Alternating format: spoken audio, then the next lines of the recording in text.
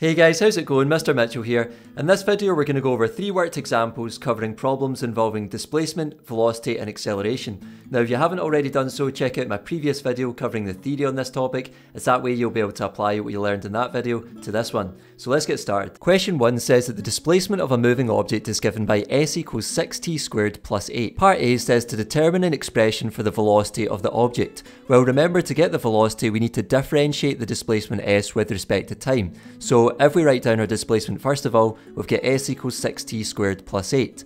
So if we write down our expression for velocity, we have v equals ds by dt, which is equal to 12t in this case. Now the way we got 12t is because we've differentiated this expression 6t squared with respect to time, and all we do is bring the power down and multiply it by the 6t, so we get 12t and then this power of 2 drops to a power of 1.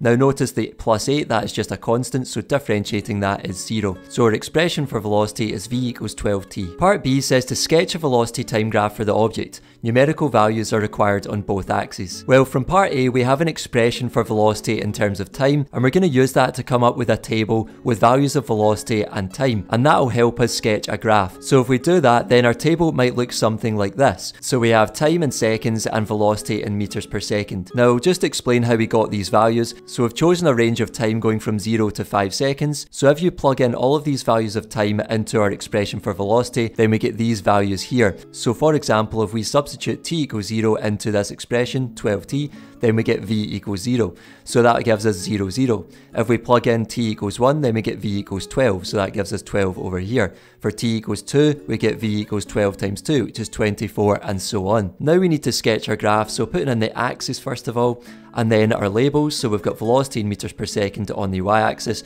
and time in seconds on the x-axis. And then remember it says that numerical values are required on both axes, so we could get away with putting the origin down in the corner and then a 60 and a 5. So that is our last values in the table there. So if you were to put in the points in your sketch, you would see that you end up with a relationship like this, and that is a uniform acceleration, remembering back to motion time graphs. Question 2 says that the expression for the displacement of a moving object after time t is s equals t squared minus 10t plus 8. Determine an expression for the velocity and acceleration and hence show that the object is moving with constant acceleration. So if we firstly write down our expression s equals t squared minus 10t plus 8, to get the expression for the velocity first of all, we need to differentiate s with respect to time. So we get v equals ds by dt equals 2t minus 10. Now the way we got this is firstly by taking the power down and multiplying it by the t, so we get 2t and that power drops to 1, so that just becomes 2t and minus 10 because we've just got minus 10t there. So there's our expression for velocity and then to get the acceleration we need to differentiate that expression for velocity that we've just worked out